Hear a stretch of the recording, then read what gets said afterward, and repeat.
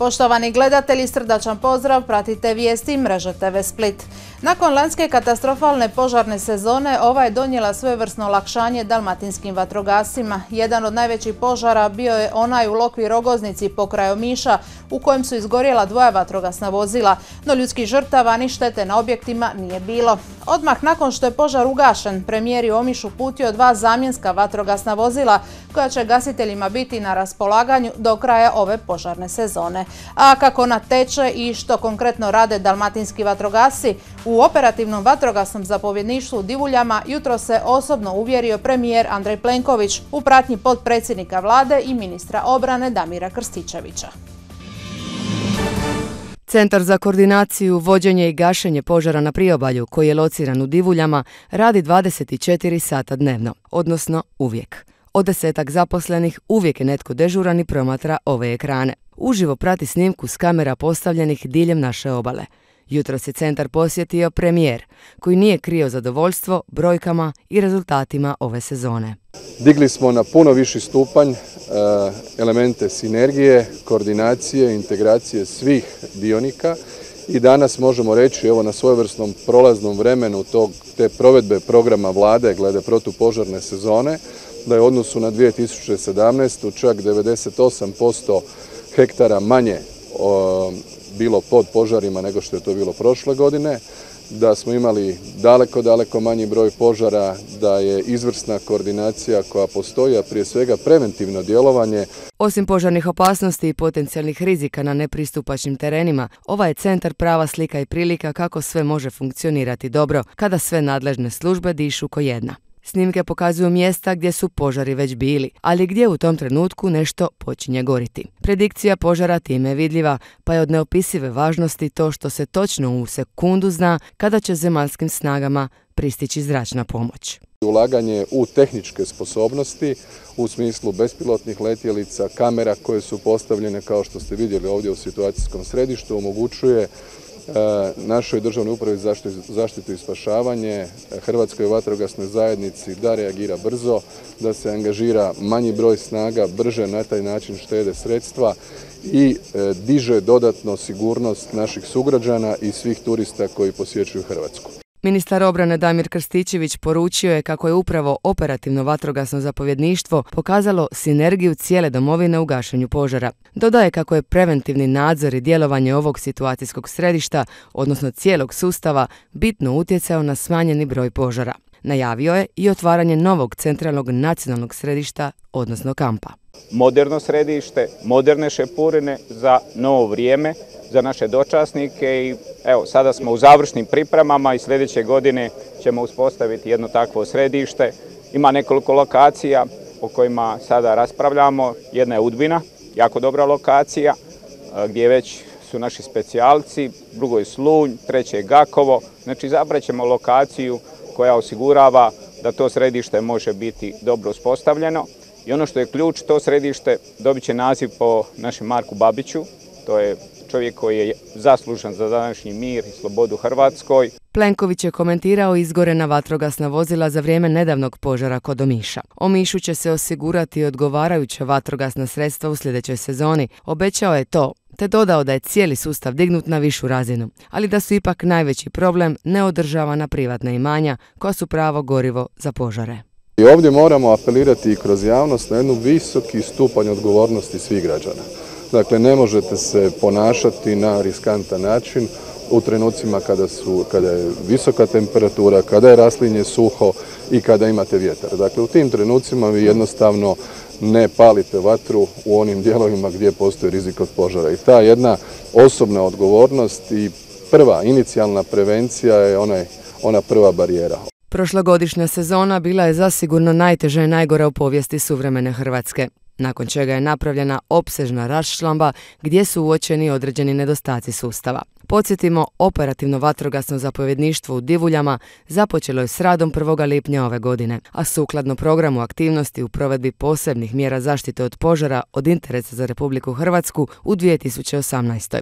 Pred našim je vatrogascima nažalost uvijek mnogo posla, no lijepo je i utješno čuti kako je ova sezona bila puno mirnija od one prošle.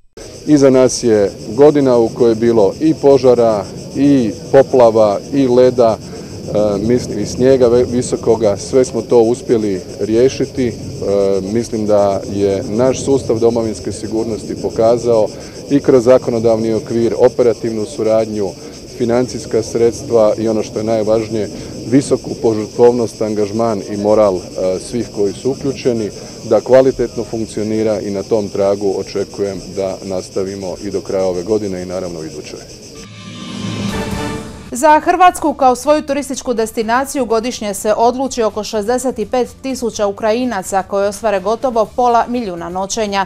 Broj gostiju iz Ukrajine svake godine raste, kao i robna razmjena između ovih dviju zemalja koja godišnje prosječno iznosi 80 milijuna američkih dolara.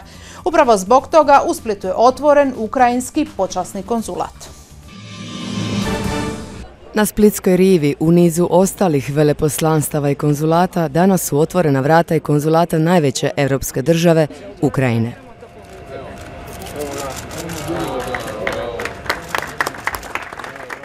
Siguran sam da će otvaranjem ovoga konzulata doći do daljnjeg unapređenja gospodarske suradnje i ukupne trgovinske razmjene, ulaganja Ukrajine u Hrvatsku i Hrvatske u Ukrajinu, Gospodin Pirić je pokazao i svojim sportskim životom i profesionalnom karijerom, ali i velikim srcem i izrazom solidarnosti prema ukrajinskoj djeci zadnjih nekoliko godina koji su ugošćena ovdje u Dalmaciji a ugošćeni su na inicijativu i nesebičan angažman Ivice Pirića, koji će predvoditi konzulat kao počasni konzul. Ivica je u Ukrajini bio jednom kapetan nogometne momčadi, a sad će ulozi nekog novog kapetana predvoditi Ukrajince u Splitu. Pomoć ukrajinskoj djeci kada im je bilo najteže, Ukrajinci su prepoznali kao zalog za vječno prijateljstvo. Ovdje se ne radi isključivo o opuštanju, godišnjim odmorima, već o stvaranju novih prijateljstava, Ključ dobrih odnosa između Hrvatske i Ukrajine je u ljudima, razumijevanju i stjecanju novih prijatelja. Zbog toga sam vrlo ponosan što sam danas ovdje. Danas je izvrstan dan i za Ukrajince i za Hrvate. U ime ukrajinskog predsjednika koji nije mogao nazočiti ovom događaju, Spličana je pozdravila prva dama Ukrajine Marina Porošenko. Ekspertna skupina koja radi sa oba dvije strane je već polučila mnoge sastanke na ekspertnim razinama što se tiče pomoći u, u europskim integracijama, što se tiče pomoći na planu e, tranzicijskog, dakle bilo gospodarskog ili političkog, ali isto tako važna pomoć i važno znanje specifično koje Hrvatska ima, to je e, mirna reintegracija e, dakle okupiranih područja i pomoć onima kojima je najpotrebitija. Među našim Bilateralni odnosi dviju zemalja podignuti su u posljednje dvije godine na zavidnu razinu. Preko 15 političkih sastanaka na najviše razini, te posjeti pokrajinama, dogovori i suradnje. Hrvatsko-ukrajinski odnosi su dobri od samih početaka. Treba se prisjetiti da je Ukrajina bila među prvim zemljama koja je priznala nezavisnu Hrvatsku državu i na isti način Hrvatska želi uzvratiti sada kada, kada Ukrajina ima probleme sa e, reintegracijom svojih E, svojih teritorija. Imamo puno toga zajednički za napraviti u potpori Ukrajine na njenom europskom putu, unutarnjim reformama, približavanju Sjevernoatlantskog saveza i u konačnici reintegraciji privremeno okupiranih područja zemlje koristeći naša iskustva i katalog mjera iz mirne reintegracije Hrvatskog podunavlja. Siguran sam da ćemo povećati i dolazak ukrajinskih turista u Hrvatsku. Vole našu kulturu, mediteranski način života, opuštenost. Neki nalaze čak i velike sličnosti u gostoprimstvu, neki u političkim borbama za samostalnost. Počasni konzul Pirić je kao nogometaš i menadžer stvorio brojne veze u Ukrajini. No humanitarni rad je ono što mu je širom otvorilo vrata veleposlanika, a potom i predsjednika. Prije dvije godine Porošenko je Pirića proglasio i najvećim prijateljem Ukrajine. Od danas se to prijateljstvo produbljuje i to na mjestu koje je Ukrajincima sve draže i bliže, Splitsko rivi.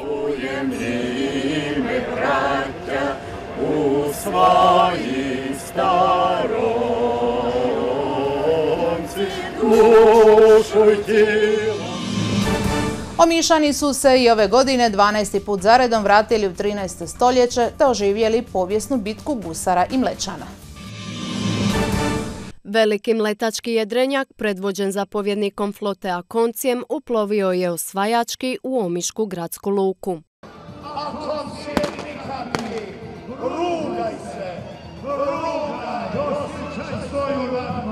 No tu su ga sačekali gusari koji su ga napali s malih brodica. Sjevale su sablje, čuli su se pucnji kubura i gusarskih topova, a omiški gusari pobjedili su nadmoćnijeg neprijatelja.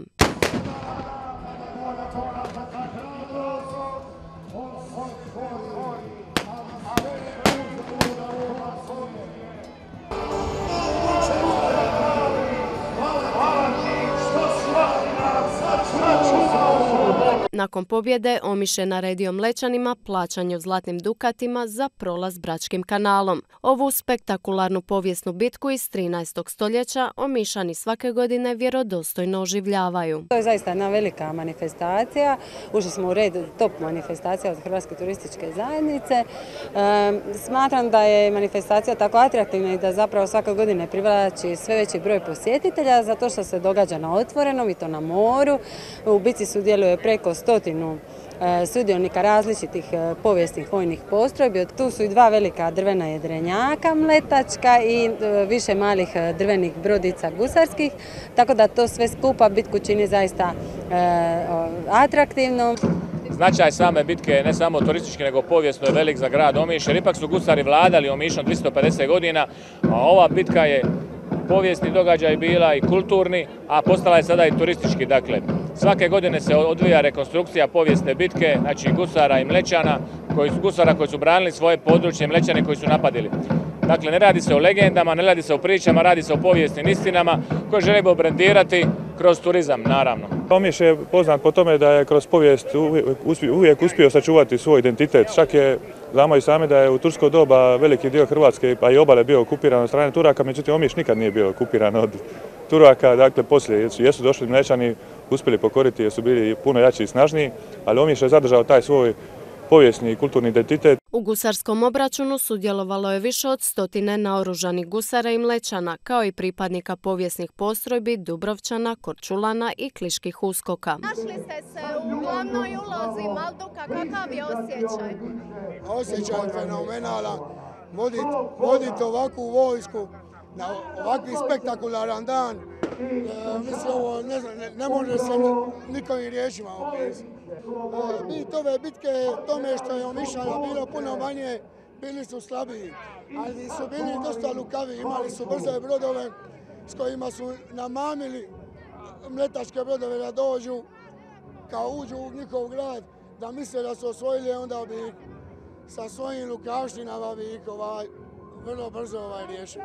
Ovo je jedna tradicija koja se mora održavati što se tiče ponosa, što se tiče grada Omiša pogotovo i što se tiče jedne turističke ponude e, Republike Hrvatske. Sudjelovali ste u povijesnoj bici, kakav je osjećaj svake godine, prepostavljam, sudjelujete? Slušajte, osjećaj je najbolji na svijetu jer smo dobili, a kada dobijemo jednu bitku, onda smo uvijek ponosni na tu bitku. Mi po 12. put učestvujemo na ovoj bitki, a poveznica je povijesna. E, prije su e, uskočki gusari, neretvanski gusari, Dubrovačka republika i Kotor bili povezani i oni su štitili ovaj kraj od e, Omiša pa dole prema Dubrovniku od Mlečana i napada. I zovu na svake godine i mi smo tu rado rado dođemo i nadam se da ćemo dolaziti i u buduće. Od prve godine Kliško ushod sudjeluju u Omiškoj bici Gusarskoj. Pomažemo svima tu u okruženju. Kada su u pitanju oželjena povijest, uvijek smo tu na raspolaganju, pogotovo tu u Omišu, gospodine Steli. Inače smo ovaj vikend malo rastegnuti, e, viteški turnir je u Vrani, pa jedan dio ekipe je tamo, jedan dio ekipe je ovdje. Pokušavamo, kažem, pomoć svakom da bi svaka manifestacija tu kod nas zaživjela i da bi bila na nekoj razini, da bi zadovoljila kriterije i da bi posjetitelj bi zadovoljni. Više od 10.000 posjetitelja smjestilo se uz dužomiške luke kako bi prisustvovali ovom scenski očaravajućem događaju. Oduševljene su bile sve generacije. Izvanredno, prekrasno je bilo. Jako autentično, svidjelo mi se. Djeca su oduševljena. bilo je jako lijepo. Što vas se najviše dojmilo? Pa najviše mi se dojmilo ovo posljednje ovo, Dubrovački, e, Dubrovčani iz Korčule, oni su mi bili najbolji definitivno. Super, cijeli program je dobar. Jako lipo. Što Što vas se najviše dojmilo? Ne mogu odabrat, meni je sve lipo. Meni je bilo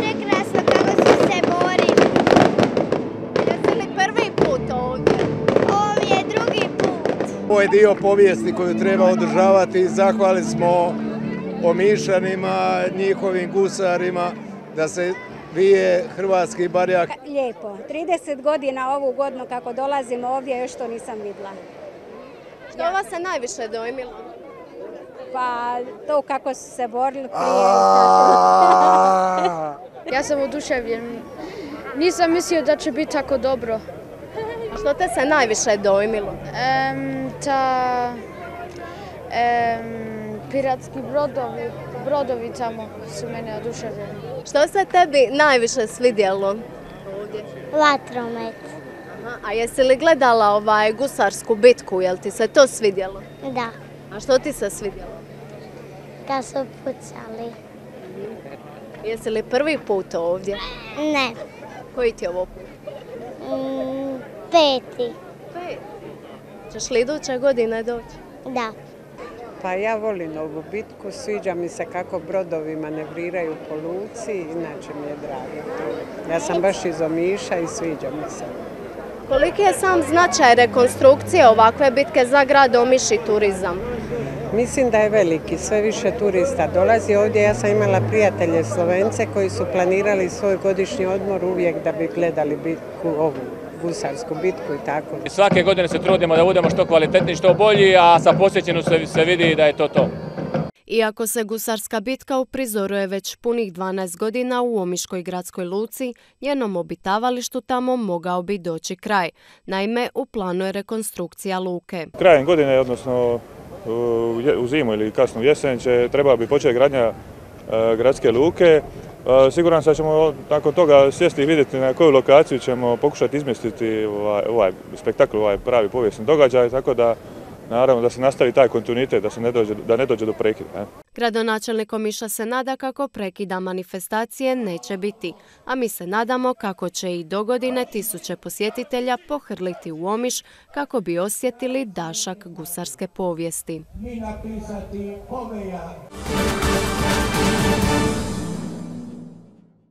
Evo nas i u sportskim minutama i ove će se godine u Splitu održati tradicionalni turnir plaža u malom vaterpolu. Biće to osmu godinu zaredom da se održava ova bogata sportska, ali i kulturno-umjetnička manifestacija. Osmi tradicionalni turnir plaža u malom vaterpolu ove će se godine održati na Zenti kraj Poškovog kupališta, a sve u sklopu velike 80. obljetnice ovog splitskog vaterpolo kluba. Nas je ponukalo na ovo igranje vaterpola u moru, prvo ta Dubrovačka ljetna e, divlja liga, E, ako ima Dubrovnik, zašto ne bi imao i Split? E, Imamo više od 20 plaža u Splitu i ideja nam je postaviti, ako ne na svaku uvalu, barem na svaku treću četvrtu, jer kad dođete u Crnu Goru pa vidite tu boku Ko- Kotorsku, tamo svaka uvala ima vaterpolo branku. I nama je cilj ovdje na svako četvrtu otprilike po jednu branku. Imamo plan, e, jednu ćemo staviti na kašune, jednu na bene i dvije na žnjan. To je ona prva ruka, jer do godine turnir igramo u gradskoj luci, najvjerojatnije na Mateušku, gdje će nam stranci biti e, glavni promotor i to kupanja na Mateuški. I nama koji smo sta- starosjedioci nije to ugodan osjećaj, ali prije nekoliko godina bivši gradonačelnik Granić, Nikola Grabić, je prvi skočio u more i dokazao da je to more čisto, da svi odvodi i kanalizacije idu daleko na pola kanala Bračkog, tako da je more čisto i dovoljno dobro za kupanje.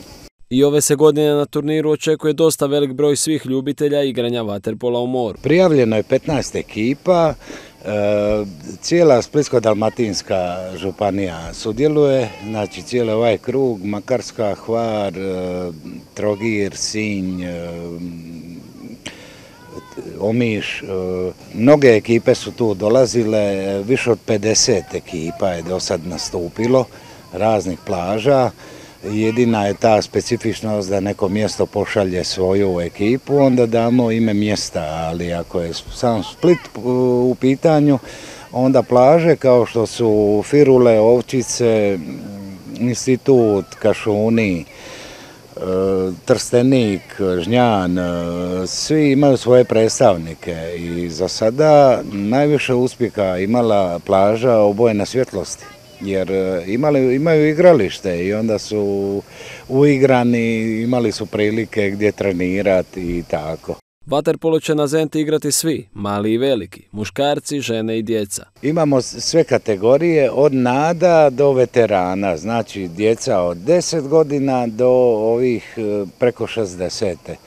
E, miješane su ekipe, nastupila je jedna kazališna ekipa, tragikomedija, gdje su glumci i kazališta play drama e, igrali u mješovitom sastavu, muško i žensko. Eh, tako i ove godine očekujemo eh, neke plaže, imaju samo žensku ekipu, igraju uglavnom mladež, uzrest adolescenata od 17 do 22 godine. Propozicije samog natjecanja vrlo su jednostavne, bit će dinamično i vrlo atraktivno. Igra se kratke utakmice od 10 minuti, bez zaustavljanja vremena. S obzirom da je manja dimenzija igrališta, 16,5 metara, što je dimenzija starog splitskog e, zimskog bazena, takozvane kade, e, igraju četiri igrača i golman i prvo plasiranoj ekipi ćemo dati medalje, a pehara će dobiti još najbolja igračica i najbolji igrač. Osim sportskog dijela programa, tu je kao i uvijek i onaj kulturno-umjetnički dio. Biće i kulturni program, e, imamo iz kazališta sve ansamble, e, balet, orkestar, e, drama i opera i iz sva četiri splitska kazališta su do sad nastupali glumci, pjevači, plesači i slično. Tako da taj bogat program mi nastojimo spajati kulturu i sport, nastojimo vaterpolo vratiti u ljetne termine i u more da se igra i ovo je jedan od e, tih e, načina kako to napraviti. Dobre zabave zasigurno neće nedostajati, stoga svi na Zentu u srijedu 22. kolovoza. Turnir počinje u 17 sati.